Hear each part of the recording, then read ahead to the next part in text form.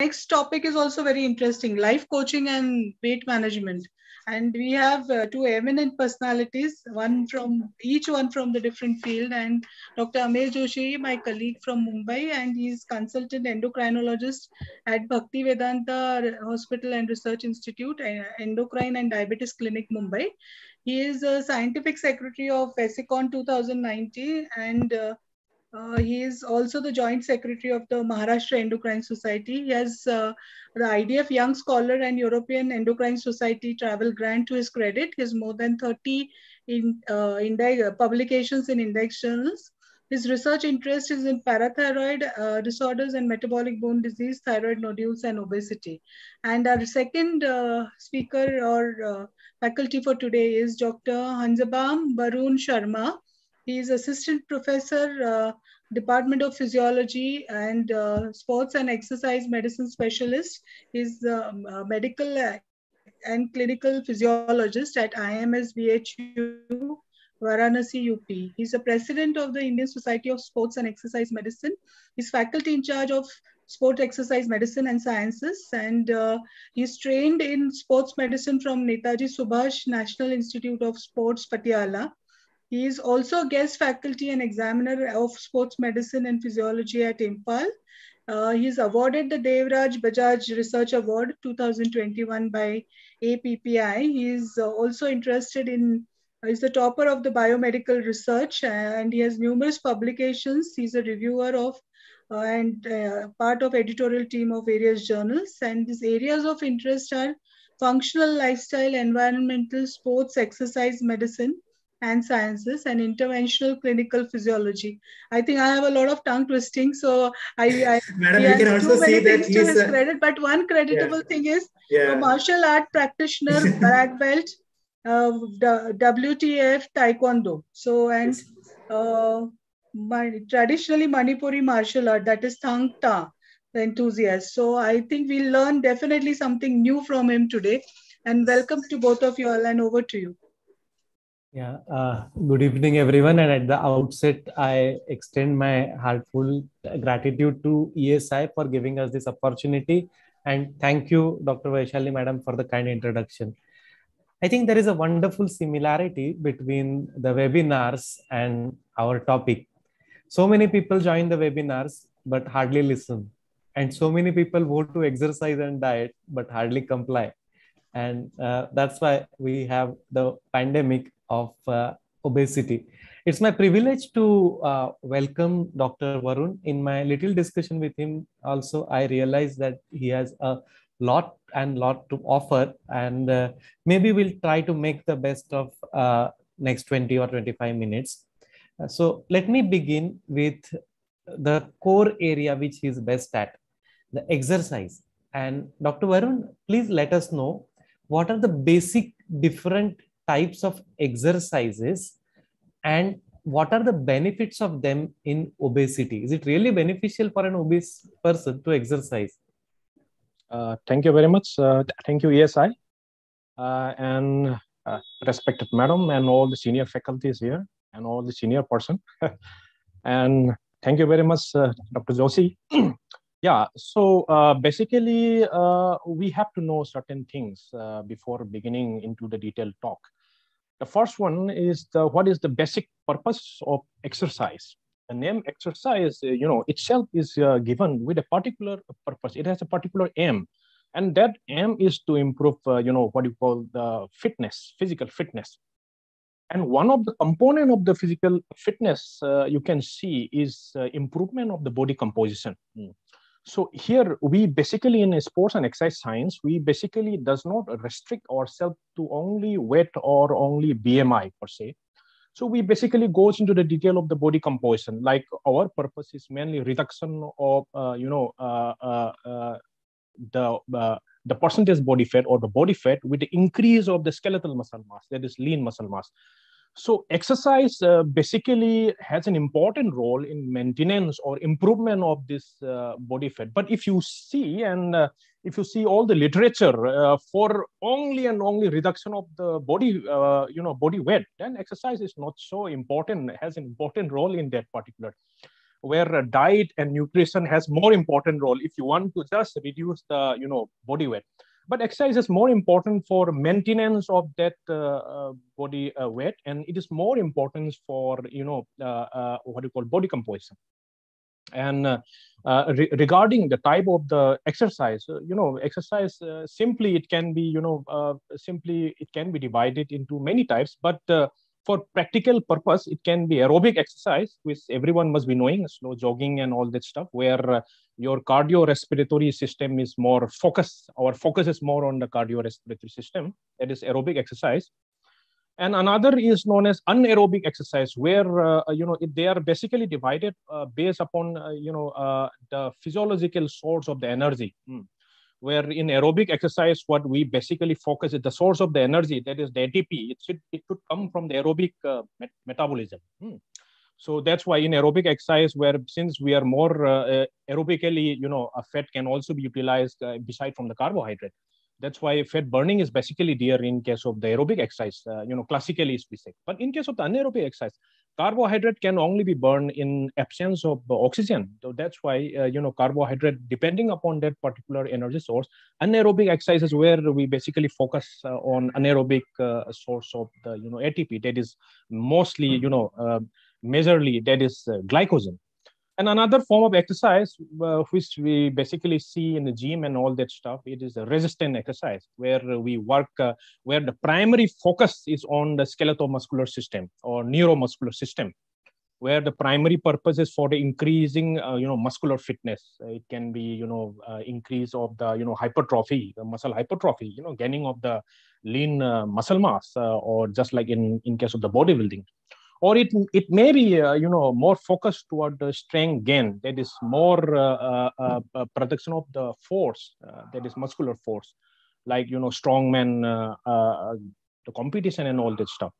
So where our focus is on the neuromuscular system. So based on that exercise can be divided into aerobic you know anaerobic or you know strength and resistance exercise. So this is in short yeah, I think uh, you managed to put uh, a lot of uh, theory into very, very small, well defined, practical, easy to understand things. I think really, really nice. See, all the guidelines have recommended that there should be uh, 45 minutes to one hour, depending on the types of exercises, mainly strength, uh, focusing on aerobic giving a rational importance to anaerobic and strength training to a variable extent depending on the age group depending on the specific uh, aspect that they are trying to look at. One of the important points that dr varun told us was very very relevant. Exercise in reduction of weight definitely relevant but much much more relevant in improving the body composition. There are some who actually don't have a net weight loss with exercise, though majority of them do have an improvement in the body composition. So that's an important key message that we got from this. I always wonder, but a small trivia that exercise time is always focused at one hour, 45 minutes to one hour. But a screen time is maximized to two hours.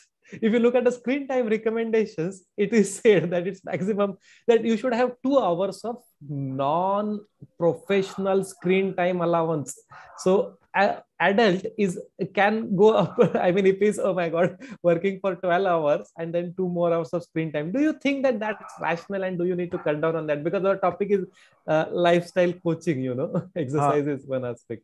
That's right, sir. That's right.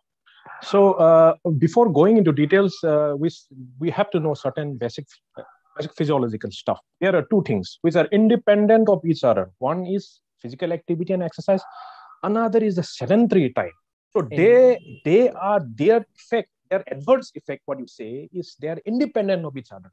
So if you if you increase physical activity and if you if you increase that or if you remain the sedentary uh, activity is not affected, then also adverse effect will be there that is known as active couch potato phenomena. Uh, you know, the, the person may be very active in the weekend warriors, but spend maximum of their, uh, his time or her time in the couch. So it is an active couch potato phenomena where abnormality or adverse effect will be still there.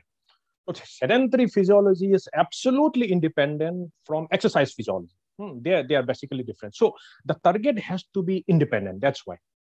So if uh, so, uh, exercise uh, most of the majority of the you know studies. The, if you see the majority of the studies of exercise, they majorly focus on you know minimum. That is the word should be minimum recommendation whether it may be American College of Sports Medicine or whether it may be from Exercise Physiological Association like uh, Canadian Exercise Physiological Association or various other, uh, you know, uh, the association. What they prescribe is always minimum. That is uh, at least, you know, what they say is at least 150 minutes of moderate to, you know, vigorous exercise, aerobic exercise per week.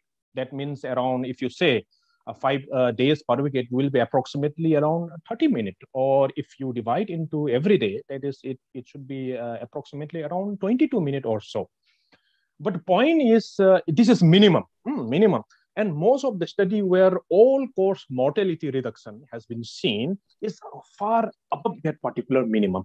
That is uh, if you go by you know step count hmm, practically i'm speaking if you because most of the people they they have this speedometer or you know the uh, the wristwatch stuff where they target uh, the approximately 10000 step per uh, you know day or something so if you go about 150 per minute recommendation then it will be approximately around say uh, 2000 step uh, per day. It is approximately. It will translate into 2000 uh, but uh, you know most of the study where uh, perform uh, you know they have uh, said that the most important beneficial effect of exercise may be far beyond that recommended. It, it may be around what you call say 1000 15000 uh, you know step uh, per day or so uh, depending upon the requirement.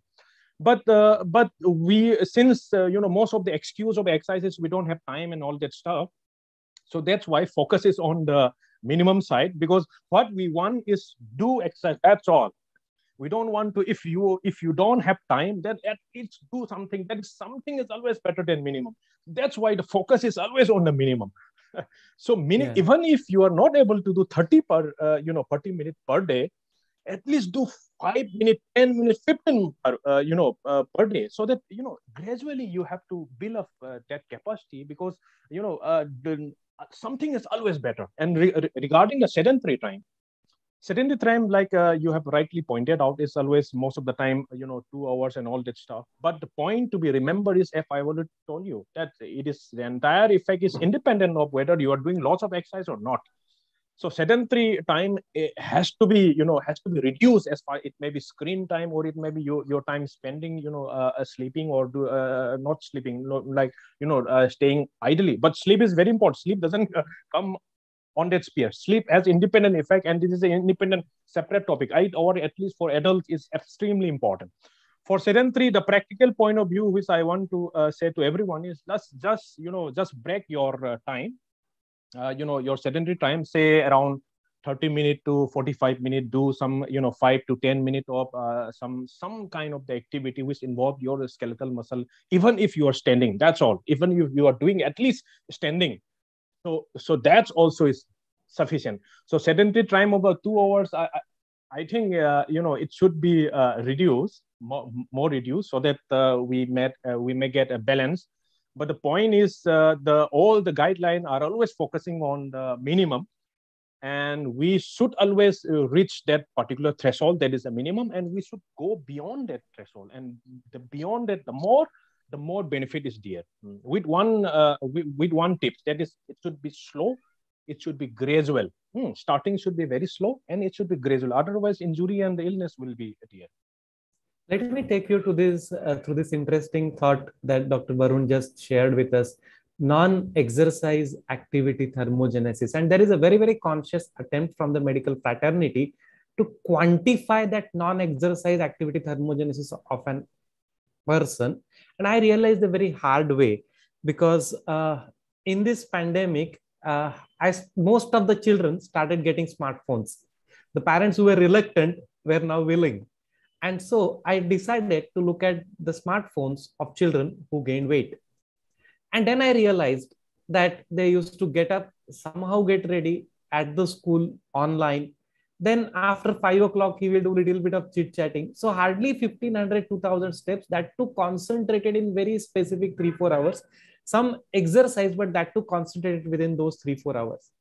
and then it made me realize that why not try to look at smartphones of all the children so some accompanied their parents and some like that and then i realized that those who were not gaining weight in the pandemic did not have a different step count. Some many of them had a step count between 5 to 10000 many children but those who did not gain weight typically were the ones whose activities were spread across the day. And the mother will typically say that he know in his school also gets up moves here and there goes 10 times to the washroom tries to grab something to eat and this is how he is. And then i realized and then uh, read also and realized that menopausal women it's not the menopause that causes weight gain but it is the fatigue that reduces their non-exercise activity thermogenesis and that's that's exactly the reason of non uh, that uh, of the weight gain that they go through. And then i also try to look at my mobile and then i realized that okay 6.30 i used to get up uh, i'm exercising regularly in the pandemic. I'm seeing covid patients. I need to be fit no? So i consciously exercised 6.30 to 7 exercise 7.30 to the opd sitting till noon coming back on some bicycle little bit of chit chat here and there eating food going back. Then 2 to 7 7.30 8 o'clock again stranded. And then i realized maybe that's the reason i did not reduce weight. So i'm working hard wish me luck on that. And i think that's the change in or maybe learning by doing. But dr varun uh, let's extend this. And there are many who say that doctor you are telling me to exercise. I have never done that. You want me to be active. The recommendation of ada also says that the activity should be in bits and pieces also beyond your session.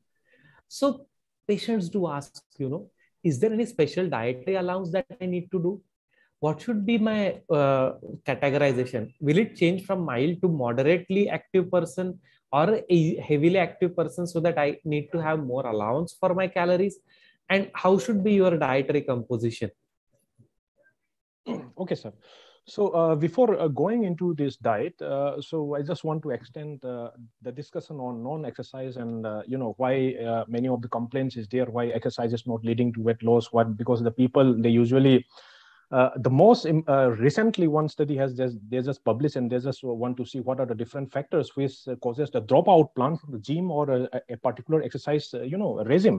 The most important uh, was the lack of the time what they they have said and you know lack of you know the no not achieving the intended target. So the most important point which one which i want to say everyone or to the patient to, the, to my client when they come is exercise is not for weight loss. I mean weight loss fat loss may be there for exercise. Since a fat and skeletal muscle mass may be there so in fact bmi may increase also. In players we see bmi uh, maybe more. So we may, may focus on this uh, one.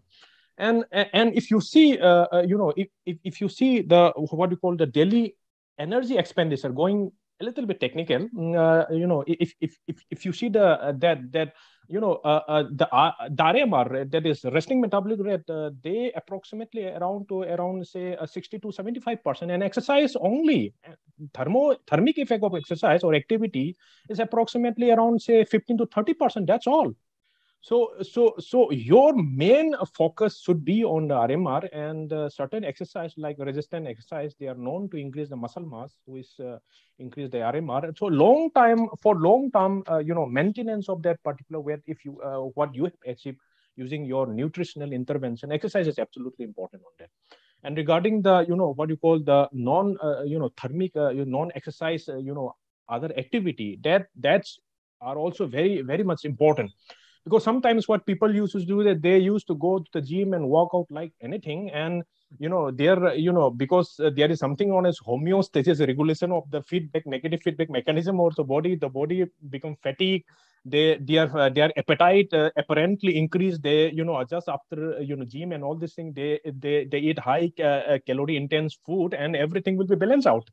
So so that thing one has to keep in mind that uh, exercise account for relatively smaller part of the energy expenditure per day. And and and if it is not accompanied by nutritional intervention or dietary intervention sufficient uh, you know uh, significant weight loss uh, uh, will uh, not be there. And regarding the dietary intervention as you know lots of the earlier speaker they have already focused on dietary intervention So before going into any kind of the program, we basically focus on our requirement, uh, you know, uh, requirement of that particular kind of person, what they need. For example, you your approach is entirely different from a sedentary person who wants to just do exercise for some fitness to a highly elite players because our focus is different.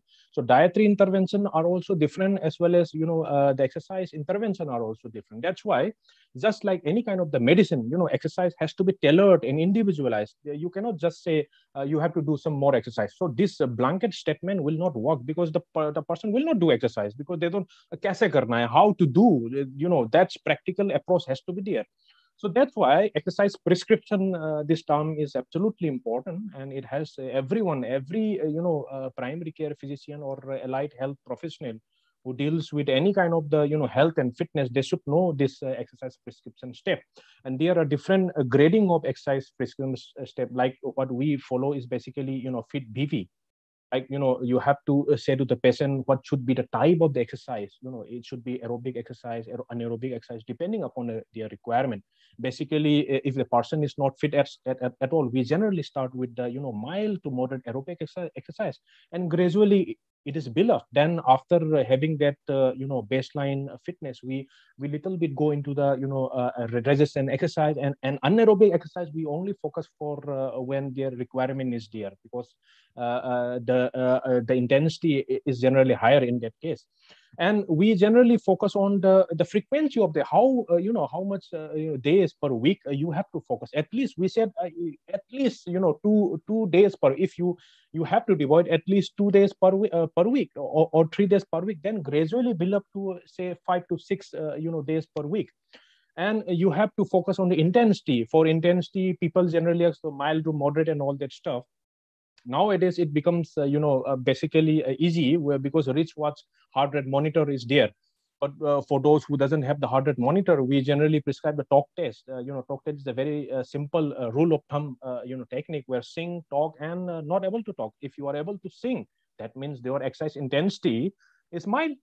If you are able to you know talk you know complete one sentence but not able to sing that means your intensity is going toward a moderate side and if you are not able to talk at all, if you are breathing uh, heavily, then you are going into the more, uh, you know, what do you say, uh, more uh, toward uh, the, you know, the higher intensity. So basically, in this way, uh, you can prescribe a particular element, particular person.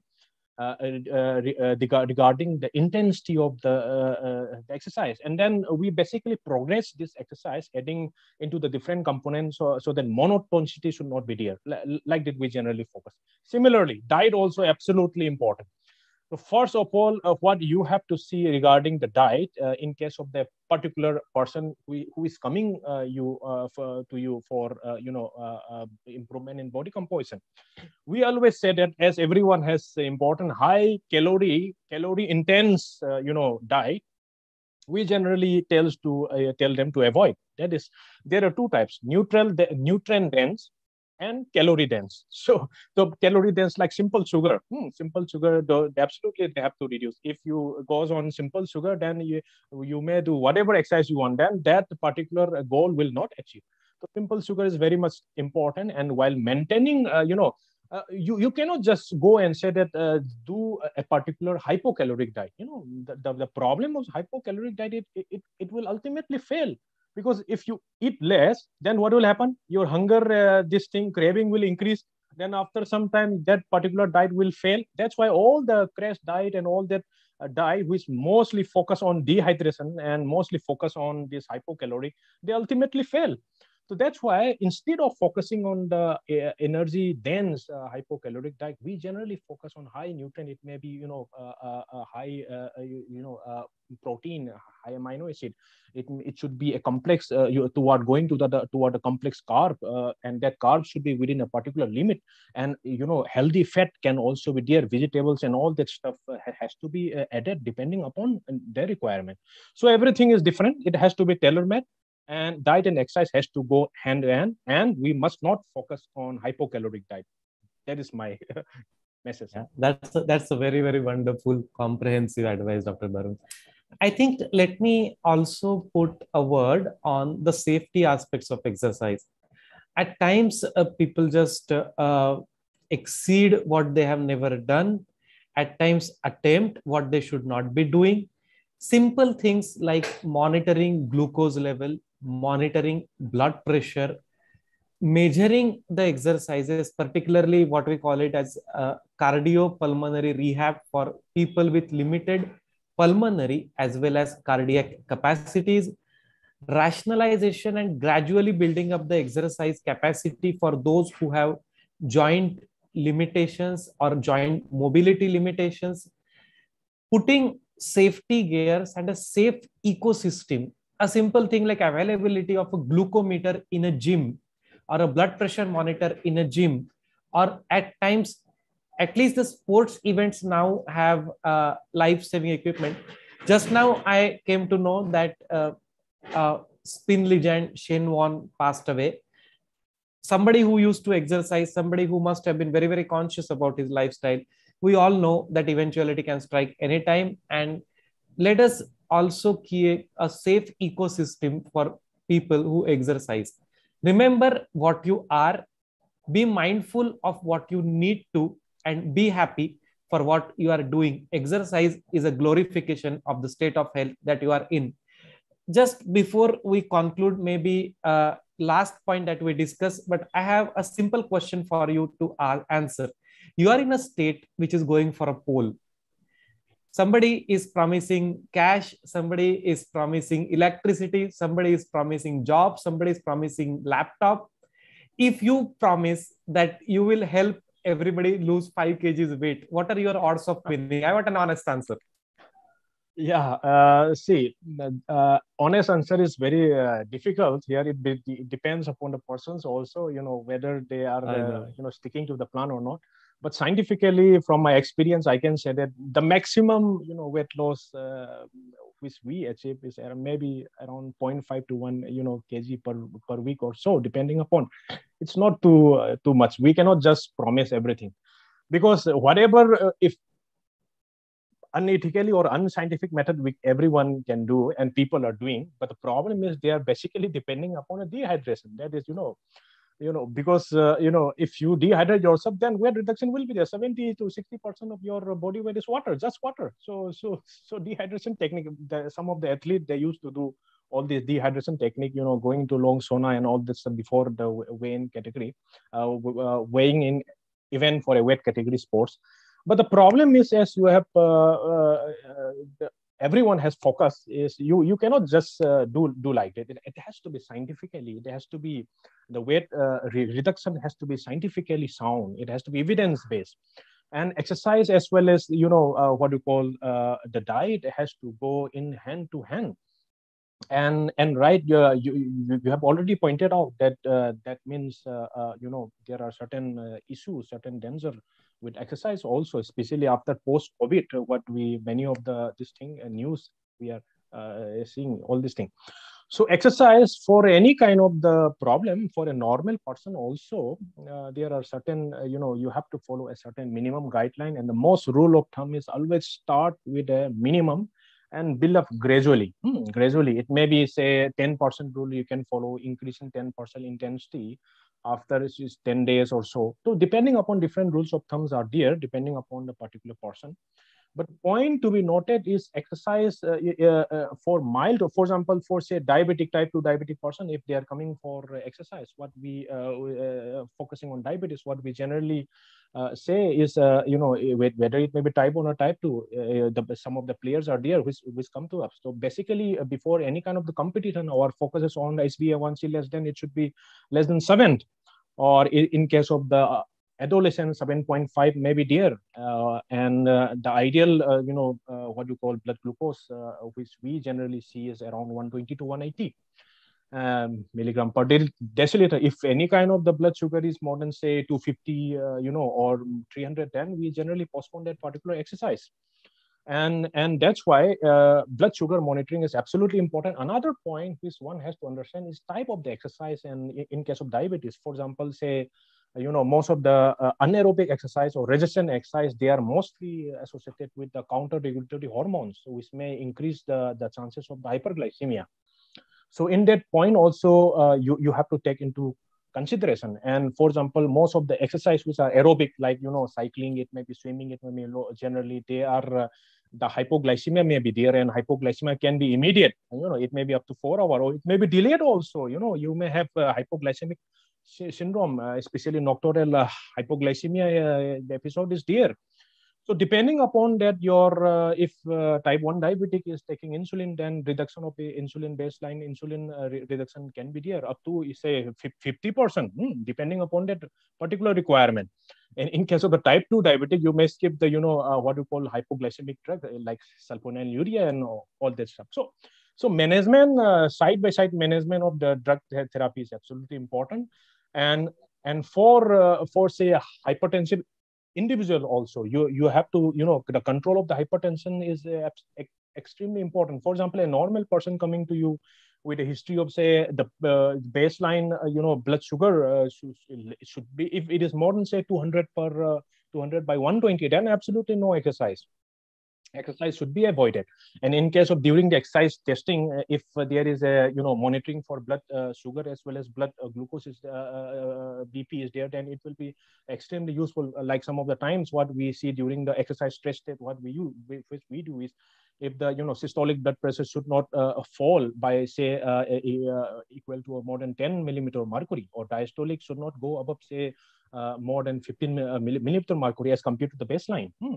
Or a, a, there should not be any high, say 250, more than 250 or more than uh, 250 of systolic blood pressure or 115 of uh, 115 uh, diastolic blood should not go. So like that, all these are basic physiological stuff which we uh, see during that particular, and that particular person has to know also. Like many of the time, every fitness enthusiast, they are, they are, they are using this heart rate monitor so, uh, so if you if you know how to calculate your maximum heart rate, it's uh, simple 220 minus AS, uh, or you can calculate a more reliable you know method by using 208 minus 0.7 into AS in year. Or whatever your AS is, you can fit in this equation and you can find out your maximum heart rate. That is the maximum heart rate which your uh, system, your body is achievable. So we generally confine to less than say 85% hmm, of or 80% of that maximum heart rate. We don't go beyond that. Uh, so in regular exercise for aerobic exercise, most of the time what we focus is around 50 to 85% of that range. Eh? In case of the high elite player, and if the, your requirement is something, then we focus only on that under a supervision so there are so yeah. many different monitoring steps there. And depending upon you know each individual each particular individual who's are having is a particular you know cardiometabolic uh, illness or any kind of the you know skeletal like uh, osteoarthritis. Like we in osteoarthritis our focus is mostly on strength training and muscle again where quadricep improvement is extremely important. Quadricep and hip muscle. Hmm and uh, so so depending upon that particular part, like for example if your client is more than uh, yes uh, 65 years old so our focus is more on a proprioceptive and balance exercise. If fall fall prevention is extremely important. One fall hip flexor or uh, neck of the femur then gone problem. So depending yeah, upon think, that particular uh, requirement uh, i agree with you dr varun. Dr varun didn't answer my question directly but what he made us realize is that one thing weight loss is difficult. Exercising is Absolutely. requires a lot of you cannot just promise to anyone. More, more importantly it also tells us one of the sad things. That is the government spending had increased only because of the pandemic on chronic diseases. It's negligible.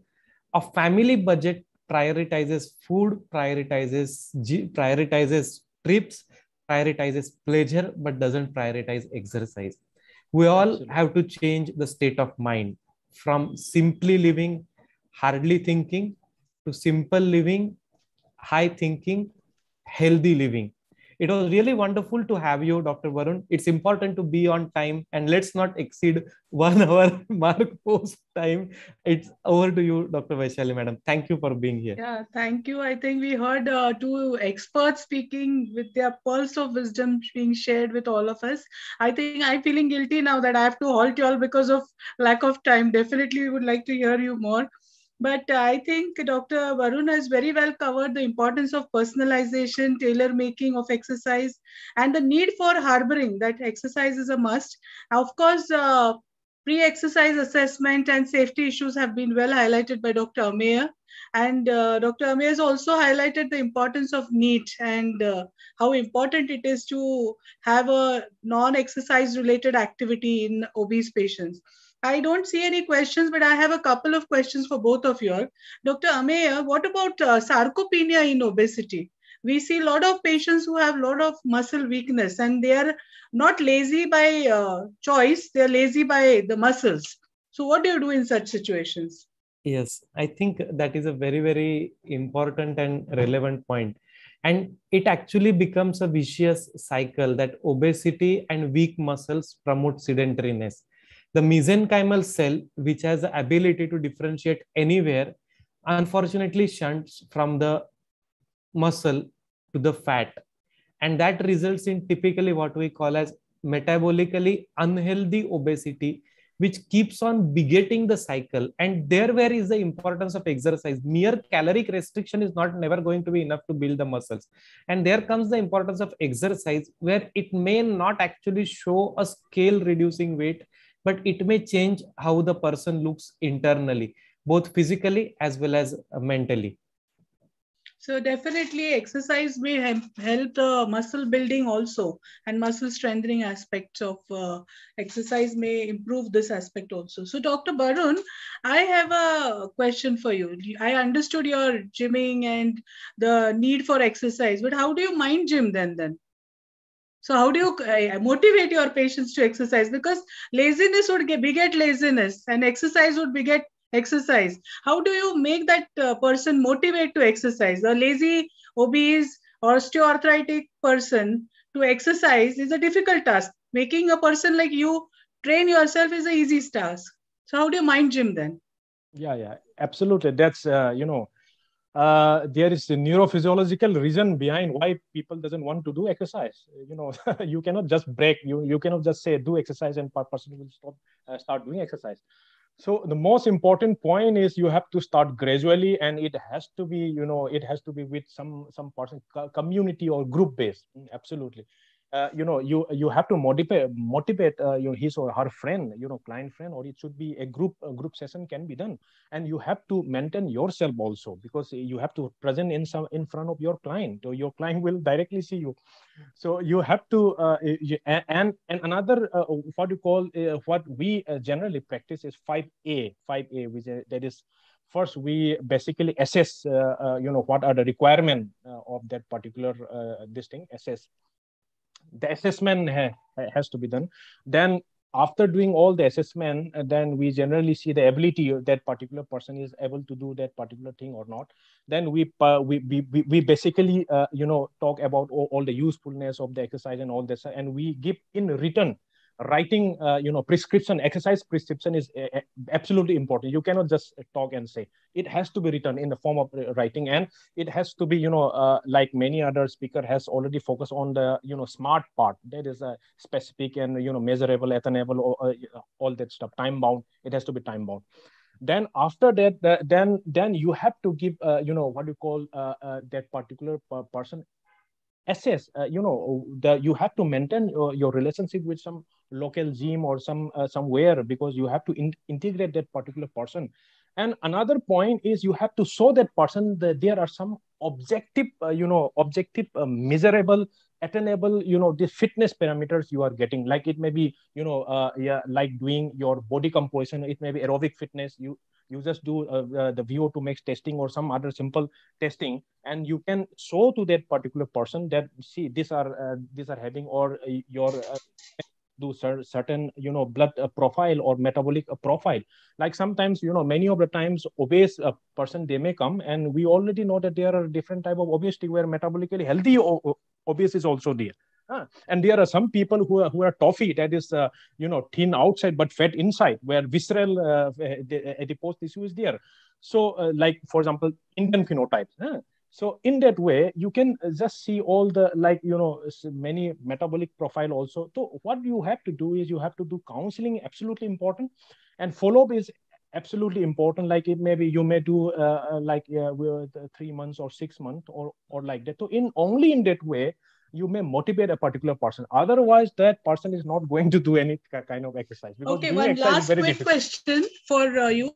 The, normally, our patients ask that should we take protein before going to the gym or after coming from the gym? What is your answer to this?